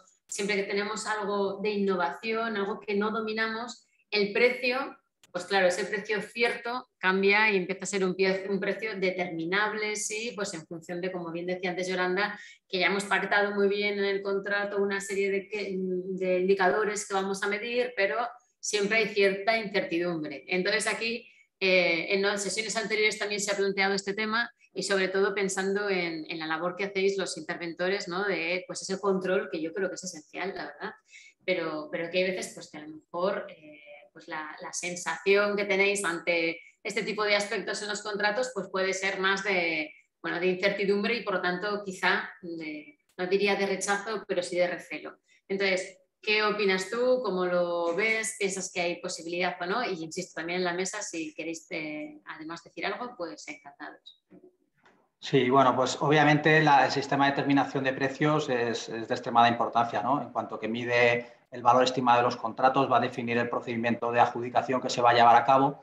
Pero bueno, nosotros en este caso, sobre todo en el ámbito de, la investigación, etcétera, la, recomendación que siempre hacemos es que, lancemos, eh, o sea, que, sepamos el conocimiento del que hay en el mercado, ¿no? O sea, no a los distintos proveedores. Por eso es importante el análisis del mercado al cual nos dirigimos, por lanzarles eh, encuestas, es decir, para ver cómo ellos entienden que puede, bueno, puede, puede definirlo el, precio de los contratos, que no, es que no es fácil. Y tenemos que conocer desde, desde el sector privado cuáles son sus inquietudes, cuáles son sus costes. La estimación de los costes no solo son de la, de la propia administración a la hora de, medir los costes de los, de los, bienes y los servicios públicos que ofrecemos, sino que también tenemos, obviamente, eh, tenemos que tener en cuenta los costes que se derivan de ese, de ese contrato. Y ahí, eh, pues en el ámbito de la investigación, muchas veces son costes, obviamente, que se estiman y que luego hay que ser capaces de, bueno, de adaptarlo a través de sistemas de revisión de precios, etcétera. O sea, a través de distintos eh, instrumentos que tenemos en la legislación contractual, adaptarnos a la, conveniencia de este sector tan, tan específico. ¿no? Que no, no trabajamos sobre bienes que están ya en el mercado y que podemos comparar sus precios fácilmente ¿no? y estimar un valor de mercado. Aquí es más complejo. Por tanto, yo creo que es fundamental eso, lanzar y conocer la, información de primera mano por parte de los, proveedores en el mercado. No sé si alguien más quiere decir algo. Si me permitís, eh, en este ámbito lo que pediría cuando, cuando se evalúa es un poquito de sentido común en el sentido de decir, vamos a ver, estamos probando algo nuevo, eh, no estamos experimentando, ¿no? porque ya hemos pasado, por lo menos en medicamentos y productos sanitarios ya tienen su autorización, por tanto no estamos experimentando, no hay cobayas humanas, estamos probando algo nuevo que nos han dicho que funciona para unas cosas, unas determinadas condiciones de rendimiento, pero no hay suficientes datos. Que todos las sumamos y que si después no hay los resultados esperados, que aquello no acabe en una guerra política en el Tribunal de Cuentas y con responsabilidades para todo el mundo. Es decir, estamos introduciendo innovación, pongamos cultura de innovación, porque si acabamos judicializando cualquier contrato de innovación porque no ha salido como se esperaba, habrá salido algo evidentemente, y no lo ponemos en contexto, al final por miedo no vamos a introducir innovación en nuestras compras. Totalmente de acuerdo. Todos. Yo creo que todos los que aquí estamos presentes, ¿no? y esperemos que también los que nos puedan oír a través de las grabaciones, bueno, pues yo creo que como Sony 5, vamos a dejarlo aquí. Sí que os quiero avisar que están ya abierto el plazo de inscripciones para el Congreso eh, ya quinto, es que vamos dando los años, parece que fue ayer cuando estábamos con el primero, quinto Congreso del Instituto Aragonés de Ciencias de la Salud, de la Cátedra de CPI, de Compra Pública de Innovación en Salud. Ya están abiertas las inscripciones. este año la novedad va a ser que volvemos a la presencialidad absoluta, única y exclusiva, con lo cual hacemos una, apuesta por la presencialidad, por el estar con las personas, por el hablar, que pensamos que son mucho más fructíferas. Entonces tenéis toda la información en la página web de, aquí, del Instituto Aragón de Ciencias de la Salud, cpi.aragón.es, lo digo de memoria, puede ser que, pero me, dicen que sí, que lo estoy diciendo bien. Con lo cual, bueno, que lo sepáis, que allí ya tenéis toda la información, el programa. Y, bueno, yo por mi parte nada más, agradecer a las ponentes y a Álvaro también la participación en la jornada de hoy, a todos los que, yo siempre lo digo, eh, a mí me, encanta colaborar con el IACS porque hay siempre además un equipo en la sombra que, que, hacen que esto salga con luz, ¿no? Entonces yo agradeceros de verdad a todos y cada uno de vosotros vuestra participación y bueno, evidentemente a María Bezunartea que hoy está en el público, ¿no? Pero que también ha sido una parte importantísima de este ciclo. Por mi parte, nada más y bueno, pues nos seguimos viendo. Muy bien. Gracias. Muchas gracias. Gracias.